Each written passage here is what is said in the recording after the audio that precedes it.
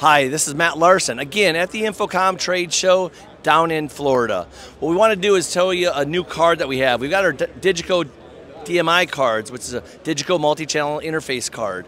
The one we just announced at this show is the brand new Milan certified AVB card, actually installed, being used with several manufacturers around the show right now.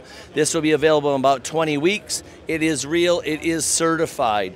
We actually have this installed in the DiGiCo Quantum 338. Let's just take a quick overview of that desk.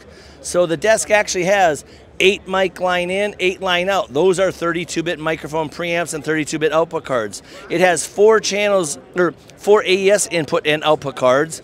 It has the, GPI, GPO, as well as MIDI in, out, and through.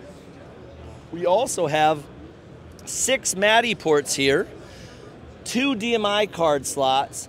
I can have a fiber optic loop number one with five surfaces and 14 racks plus console to console busing. In addition, I can add a second optical loop if I want.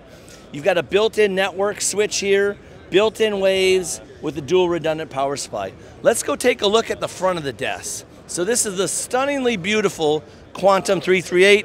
As you can see, it's got these great touchscreens here. You've got your macros built into here with hidden to lit technology. So as I grab any additional any features of anything, these will actually light up for you.